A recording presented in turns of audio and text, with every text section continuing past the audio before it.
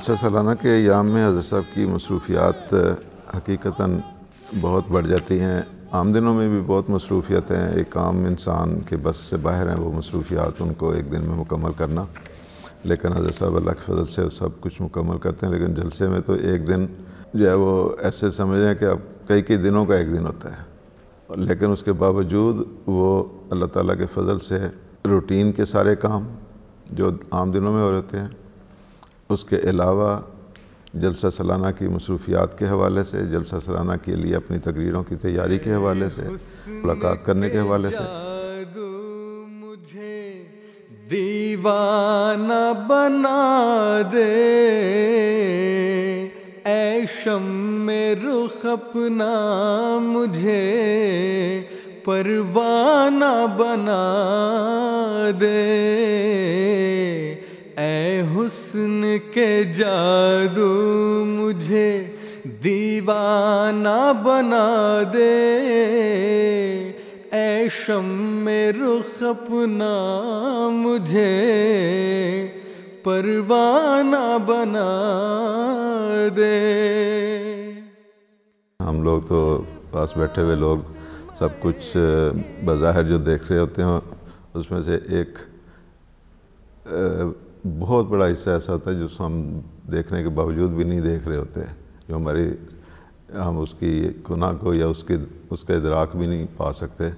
اس میں رات کے یام ہیں یا دن کے اوقات ہیں جن میں حضرت صاحب دفتر کے اندر تشریف فرما ہیں اور ڈھیروں کتابیں سامنے پڑی ہوئی ہیں اور ان میں سے حضرت صاحب اپنی تقریریں تیار کر رہے ہیں، جلسہ سالانہ کی۔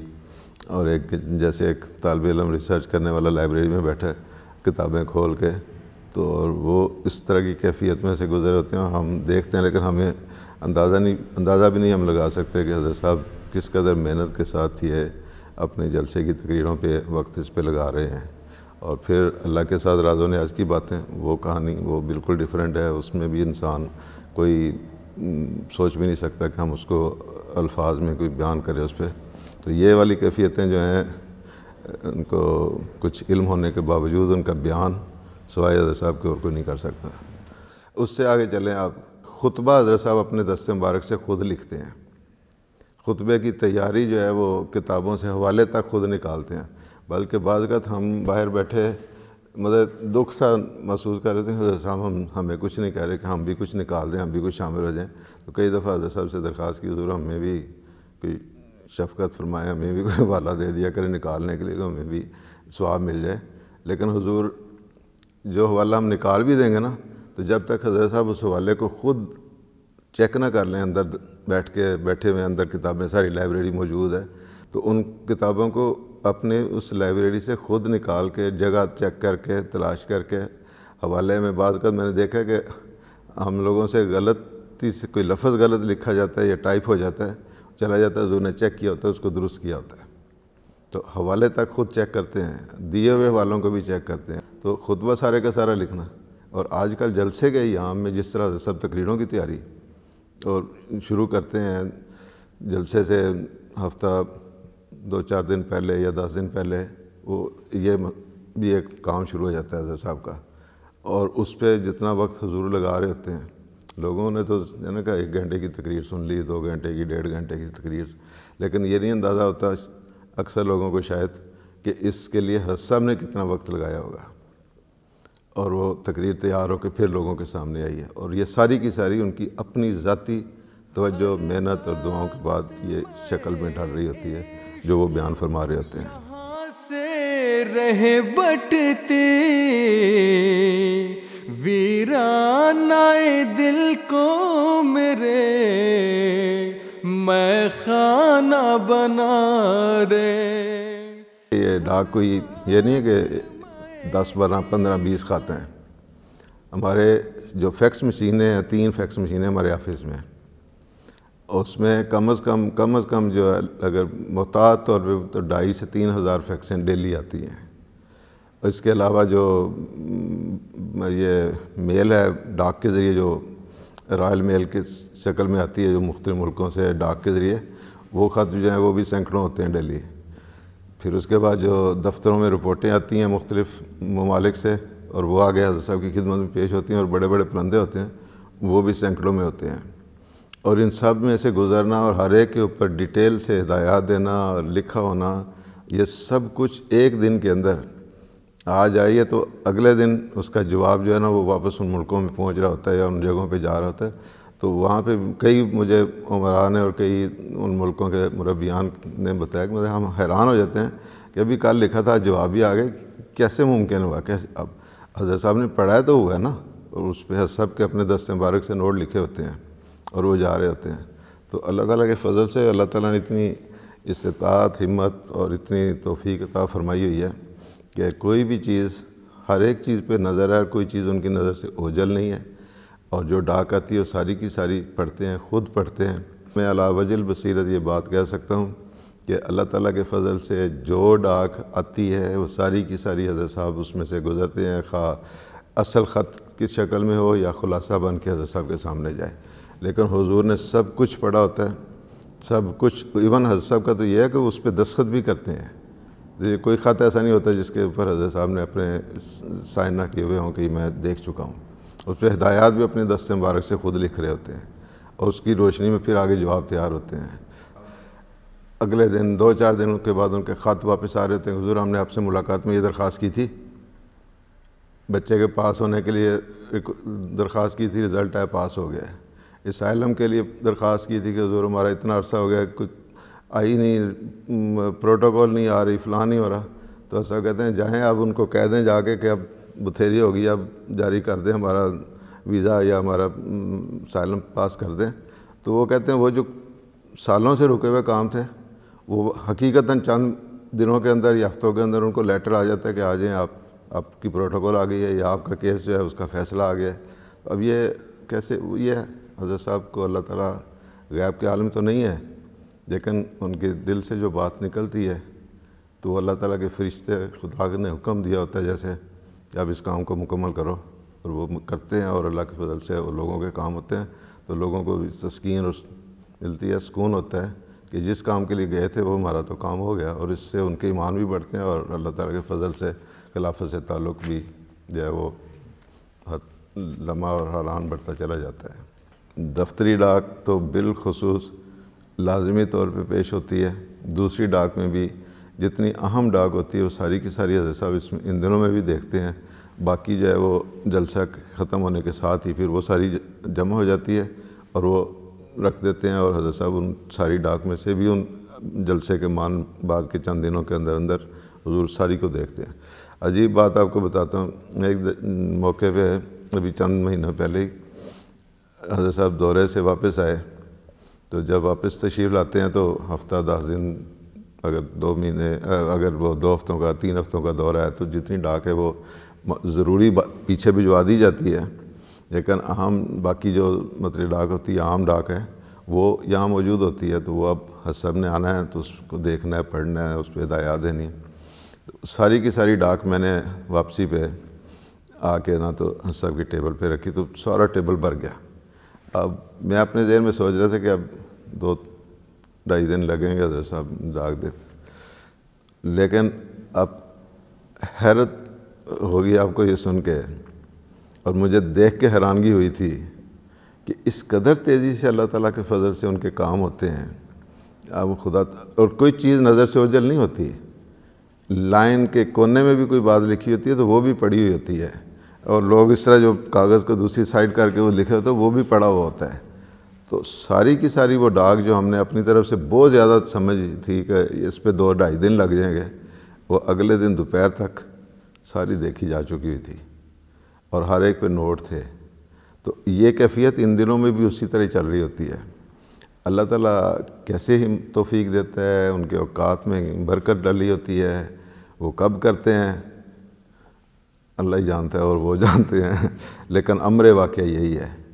کہ اسی طرح ہی ہوتا ہے اور وہ اللہ تعالیٰ کے فضل سے ہر چیز میں سے گزر کے ان پہ ہدایات دے کے ان پہ جو ارشادات فرمانے ہوتے ہیں، وہ سب کچھ کر کے دیتے ہیں اور ہم آگے ہمیں شاید اس ڈاک پہ کارروائی کرنے میں اس کہیں زیادہ وقت لگتا ہوگا جتنے میں حضرت صاحب نے وہ ساری لمبے چوڑی رپورٹیں اور ہر چیز پڑھ کے نوٹ دے کے اس کو باہر بھیجا ہوتا ہے اب اگلی کارروائی کی جائے۔ دیوانہ بنا کر مجھے فرزانہ بنا دے۔ ڈاک میں چھ چھ آٹھ آٹھ مہینے پہلے پڑے ہوئے خط جو ہیں، وہ اس قسم کا موضوع، جب وہ وہی موضوع، وہی مسئلہ، وہی بات، کوئی آ کے صاحب کو بیان کرتا ہے کہ حضور میں نے یہ بات آپ کو لکھی تھی جب میرے فلاں عزیز نے لکھی تھی تو حضرت صاحب اس کو خط کی وہ ساری کیفیت سنا دیتے لائنیں تک پڑھ کے مطلب ایسے ہوتا ہے جیسے سامنے پڑا ہوا ہے۔ اور وہ اگلا بھی سن کے حیران پریشان ہو جاتا ہے۔ بھی چند دن پہلے ایک خاتون نے اپنے گھریلو مسئلے کا تھا، ان کے زمین کے جھگڑے شگڑے آپس میں چل رہے تھے۔ تو وہ دعا کے لیے کہا کہ جی اس طرح کے کیس چل رہے ہیں تو حضور دعا کریں۔ تو حضور نے ان کو سارا بتا دیا کہ یہ یہ یہ معاملے ہیں نا آپ کے، یہی ہیں نا۔ تو وہ حیران پریشان ہوئے، حضور، آپ کو کس، کہاں سے پتہ چل گیا؟ ڈاک، کیڑوں کی تیاری، ملاقاتیں، ملاقاتوں میں بھی پھر عام ملاقاتیں ہیں، فیملی جو ہوتی ہیں، مبلغین کی میٹنگیں ہیں، پھر اس کے بعد جو مہمان آتے ہیں، ان کی ہیں، پھر وفود جو آتے ہیں، ان کی ملاقاتیں ہیں۔ تو ملاقاتوں میں بھی کئی قسم کے مطلب پھر ان لوگوں سے ہر ایک سے، ان کے ملکوں کے حالات کے لحاظ سے باتیں کرنا، معلومات پوچھنا ان سے، ان کے ملکوں کے حالات پوچھنا، خود ان کو رہنمائی فرمانا، یہ سارا کچھ ان ملاقاتوں کے دوران ہو رہا تھا اور یہ انہی انہی چند دنوں کے اندر اندر ہو رہا تھا۔ لیکن عجیب اتفاق ہوتا ہے کہ بہت سارے لوگ اس وجود کے روب سے یا ان کے سامنے پہلی دفعہ حاضر ہونے کی وجہ سے یہ فیل کر رہے ہوتے ہیں کہ ہم پتہ نہیں حضور سے کس طرح بات کریں گے اور وہ بات میں ہم کچھ اپنے دل کی کہہ بھی پائیں گے کہ نہیں پائیں گے۔ تو اندر جب جاتے ہیں تو وہ باتیں جو انہوں نے پوچھنی ہوتی ہیں، حضور وہ ان سے پوچھنے لگ جاتے ہیں۔ اور وہ کہتے ہیں، حضرت صاحب کو یہ کیسے سب کچھ پتہ چل گیا؟ اور پھر حضرت صاحب ایک ایک کر کے ان کے دل کی ایسے جیسے ہر چیز کھولتی چلی، کھولتے چلے جا رہے ہیں۔ اور وہ ساری باتیں جو انہوں نے اپنے دل میں سوچی ہوتی ہیں یا اپنی چٹوں پہ لکھی ہوتی ہیں، اور چٹیں ان کو اس وقت ایسے نظر آتی ہیں جیسے اس پہ ہم نے کچھ لکھا ہی نہیں ہے۔ اور وہ ادھر بات کا چھوڑ کے بھی چلے جاتے ہیں ادھر پیچھے سے آواز دیتے ہیں کہ یہ اپنی چٹ تو اٹھا کے لے جائیں۔ تو یہ کیفیت ہوتی ہے۔ اور وہ جب اس طرح حضور ان سے ملتے ہیں تو ان کا ایمان بھی اس میں بڑھتا ہے۔ اور وہ کہتے ہیں کہ اللہ تعالیٰ نے مطلب سب کچھ ہم سے، حضرت صاحب نے ہم سے وہ پوچھ لیا اللہ کے فضل سے، جو ہم نے حضرت صاحب سے پوچھنے کے لیے یا مشورہ لینے کے لیے یا دعا کی درخواست کرنے کے لیے گئے تھے تو حضور نے وہ سب کچھ کہہ دیا۔ اور یہ کیفیت تو آئے دن ہر سالہ سال ہم دیکھتے ہیں حضرت صاحب کے ساتھ ملاقاتوں میں اور خطوں میں بھی اور ویسے بھی۔ ایک آتا ہے بندہ وہ خوشی کی خبریں لے آ کے سناتا ہے، حضور میرا بیٹا کامیاب ہو گیا، حضور مجھے یہ جاب اچھی مل گئی، حضور میرے لیے فلاں میں نے بزنس شروع کیا تھا، مجھے اتنا فائدہ ہو گیا تو یہ خوشی کی خبریں ہوتی ہیں، یا کوئی مبلغ آتا ہو گیا تھا، میں نے اتنی تبلیغ کی ہو گیا۔ اور اگلا ہی آتا ہے، وہ رونا پیٹنا ایک لحاظ سے مدد ہوتا ہے، یہ ہو گیا، میرے ساتھ یہ مسئلہ بن گیا، میرے وہ فلاں میرا عزیز کینسر اس کو ہو گیا، میری بچی کا گھر کر مسائل پیدا ہو گئے، اختلاف ہو گیا تو آئلی جھگڑے شروع ہو گئے ہیں یا میرا نقصان ہو گیا بزنس میں۔ اب یہ کیفیتیں، وہ تو سب کے باپ ہیں۔ وہ خوشی والی خبریں بھی سن رہے ہیں، غمی والی بھی سن رہے ہیں، لیکن مجال ہے جو اگلے کی خوشی اور دوسرے کے غم کے وقت ان کے کوئی وہ اس کا بھی اسی طرح سن رہے ہیں، توجہ سے۔ اور اس کا بھی اسی طرح توجہ سے سن رہے ہیں اور پھر چہرے پہ کوئی اس کے آثار جو ہیں وہ ظاہر نہیں ہونے دے رہے کہ ابھی مجھے یہ کیا خبریں دے کے گیا اور ابھی کیا میں مطلب ایک لمحے میں خوشی کی خبر ہے، ایک لمحے میں غم کی خبر ہے۔ لیکن اس کا آپ ایک انسان تصور بھی نہیں کر سکتا کہ حضرت صاحب کے چہرے کے یا جو ہیں قد و خال میں اس میں کسی قسم کا کوئی چینج نظر آئے۔ ہر ایک سے بشاشت اسی طرح قائم ہے۔ آنے والے کے ساتھ اسی طرح کھلے دل سے مل رہے ہیں کہ گویا پچھلے نے کچھ سنایا ہی نہیں تھا، کچھ تھا ہی نہیں۔ اور وہ آنے والا جو ہے، وہ بھی اپنی طرف سے پوری تسلی کے ساتھ اپنی ساری خوشیاں سمیٹ کے یا اپنے غم جو ہیں، وہ سب کے ساتھ شیئر کر کے اب دعائیں لے کے جا ان ملاقاتوں میں بھی متنوع قسم کے مطلب مسائل لے کے آنے والے سب کو مکمل کرتے ہیں اور اس شان سے اور اس آسان رنگ میں مکمل فرماتے ہیں کہ ہر ایک سمجھ ہوتا ہے کہ گویا صرف میں ہی تھا آیا جو ملنا اور حضرت صاحب نے اس کو ہی نہیں بلکہ جو عام دنوں میں بیس پچیس ملاقاتیں ہوتی ہیں جلسے کے دنوں میں ساٹھ ستر اسی تک چلی جاتی ہیں تو ان سب کو پہلے ملاقاتی سے لے کے آخری ملاقاتی تک ملاقات کرنے والے تک اسی طرح ملتے ہیں کہ پہلا ہی ہے یہ۔ اور بشاشت بھی اور حضرت مسیم علیہ السلام کو جو اللہ نے فرمایا تھا نا کہ تیرے پاس لاتعداد لوگ آئیں گے اور بڑی کثرت سے لوگ آئیں گے، لیکن نہ تم نے اکتانا ہے، نہ تھکنا ہے۔ وہ کیفیت خلفاء کے اندر بھی اللہ نے پیدا فرمائی ہوتی ہے اور خلفاء بھی اسی طریقے سے آنے والوں کے ساتھ ملتے ہیں اور پہلے سے لے کے آخری ملاقات کرنے والے تک کبھی بھی ان کے چہروں پہ کوئی تھکاوٹ اور کوئی اکتاہٹ کا اثار نہیں ہوتا۔ اور یہی کیفیت میں حضرت صاحب کے دیکھتا ہوں کہ انتظار گیا وہ کر رہے ہوتے ہیں کہ ان مہمانوں نے آنا ہے اور میں نے ان سے ملنا ہے اور اس کی ایک تیاری کر کے بیٹھے ہوتے ہیں اور وہ جیسے انسان کسی چیز کے لیے اپنے آپ کو شدت انتظار کی کیفیت کے عالم میں کیفیت ہوتی ہے، اس عالم میں پہنچ جاتا ہے کہ بڑی شدت سے انتظار ہوتا ہے، وہ ان ایام کے آنے کے لیے انتظار، اس قسم کے انتظار میں سے گزرے ہوتے ہیں۔ حقیقتاً اسی دلی بشاشت کے ساتھ ان کا انتظار کر رہے ہوتے ہیں اور پھر جب ان سے ملاقاتیں کرتے ہیں تو ملاقاتوں میں یہ شان پہلی ملاقات سے لے کے آخر تک قائم ہوتی ہے کہ ہر ایک کے ساتھ اسی طرح مل رہے ہوتے ہیں گیا تم ہی اور میں بیٹھے ہیں اور کوئی میرا کام نہیں ہے، بس اب ہم نے ملنا ہے، آرام سے بیٹھتے اور وہ چند سیکنڈ کی ہوتی ہے کیونکہ آگے اتنا سب کو وقت دینا ہے۔ اور اس میں اتنی تسلی کے ساتھ کہ اگر کسی نے بچوں کو ملاقاتوں میں چاکلیٹیں دیتے ہیں، چاکلیٹیں دی ہیں حال حوال پوچھا ہے ان کے بعد ان کے قلم، پین یا کوئی اور کسی نے تبرک مانگا ہے وہ ان کو دیا ہے پھر اس کے بعد تصویر کھنچوائی ہے۔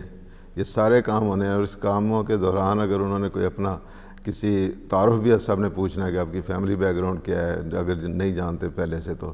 اور پھر جیسے کسی نے کسی کا بتانا تو آپ کا تو فلاں بھی مجھے مل کے گیا تھا۔ آپ کا تو وہ فلاں یہاں نہیں رہتا، اسی لنڈن میں رہتا ہے۔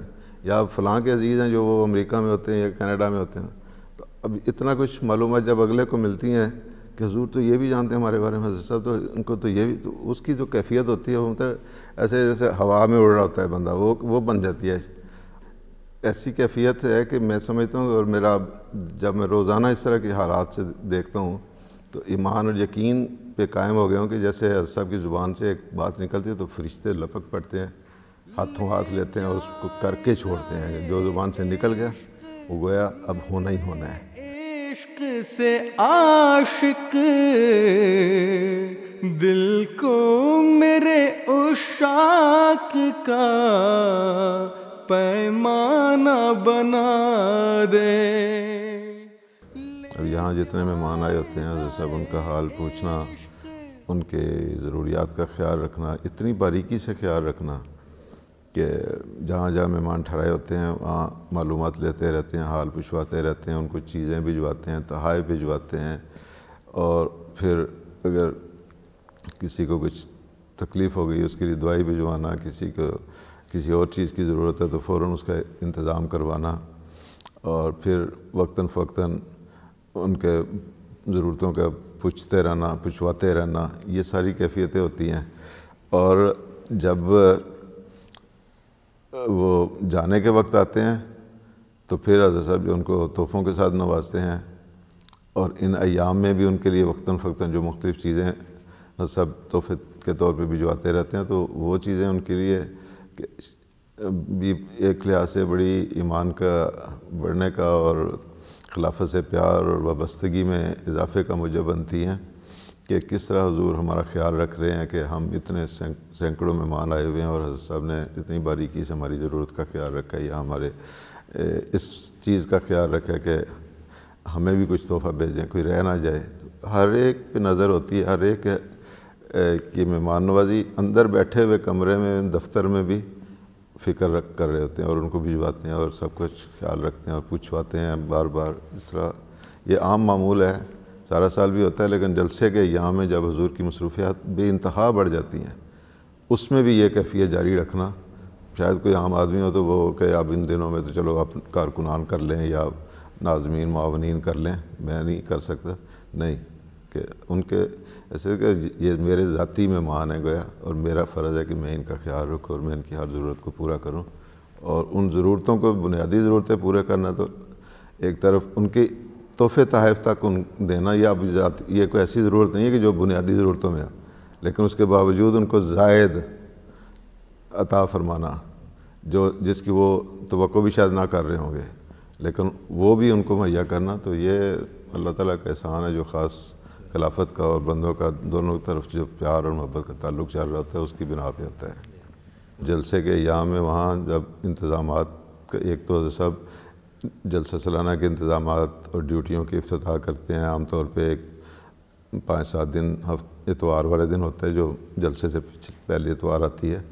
اس میں افتتاح، معائنہ، سارا کچھ کر کے تو اس کے بعد پھر ڈیوٹیاں باقاعدہ طور پہ شروع ہو جاتی ہیں۔ لیکن ان ڈیوٹیوں کے افتتاح میں کے بعد حضرت صاحب بھی ایسے لگتا ہے جیسے اب وہ ایک جہاد والی کیفیت میں اب چلے گئے ہیں اور اب ایک جہاد شروع ہو گیا ہے اور وہ رہتا ہے پھر جلسے کے اختتام اور مہمانوں کے واپسی کے سفروں تک اور ان دنوں میں حضرت صاحب کو جہاں ان کی سہولتوں کا خیال ہوتا ہے، وہاں ان کو کسی قسم کی پریشانی نہ ہونے کی فکر بھی ہوتی ہے کہ کسی کو کوئی ایکسیڈنٹ کوئی حادثہ نہ پیش آ جائے، کسی کو کوئی اور کوئی پریشانی نہ ہو جائے تو سب اس لحاظ سے نصیحتیں بھی کرتے ہیں اور پوچھتے بھی رہتے ہیں فلان نے جانا تھا، چلا گیا، خیریت سے پہنچ گیا کہ نہیں پہنچا، پتہ کریں اتنے بجے نکلنا تھا انہوں نے، اتنے بجے فلائٹ تھی، اب وہ ان کو کوئی وقت پہ ایئرپورٹ لے گیا کہ نہیں لے گیا۔ اب یہ اتنی باریکی سے ہر چیز کا حال مطلب ہر ایک کی یاد رکھنا اور پھر ان کو اس کے بارے میں پوچھنا، پوچھوانا، یہ معمولی بات نہیں ہے۔ اور عام بڑے بڑے لیڈر جو ہیں وہ تو اس کا سوچتے بھی نہیں ہوں گے، فلاں کہاں ٹھہرا ہوا ہے؟ اور فلاں کے لیے کوئی مناسب انتظام ہے کہ نہیں ہے؟ ان کو گاڑی مل گئی ہے، گاڑی کا انتظام کرا دیا کہ نہیں؟ ان کو آج فلاں نے آنا تھا، ان کے لیے گاڑی بھجوا دی ہے کہ نہیں بھجوا دی؟ یہ ساری چیزیں۔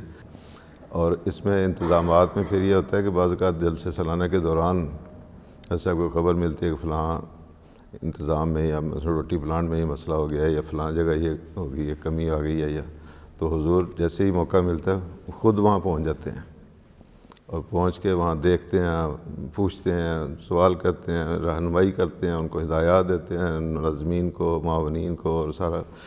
پچھلے چند سال پہلے بارش ہو گئی، قافلے شام کو نکل رہے تھے اپنی اپنی مہمان گاؤں کی طرف، تو وہاں رش پڑ گیا، بارش کی وجہ سے بسوں پہ لوگ چڑھ رہے تھے۔ حضرت صاحب کو پتہ چلا تھا سب خود وہاں تشریف لے گئے۔ بارش ہو رہی ہے، کھڑے رہے ہیں جب تک وہ سب لوگ اپنے اپنے واپسی کی جو سفر تھا، ان کا وہ شروع نہیں ہو گیا اور لوگ بسوں میں بیٹھ نہیں گئے آرام سے۔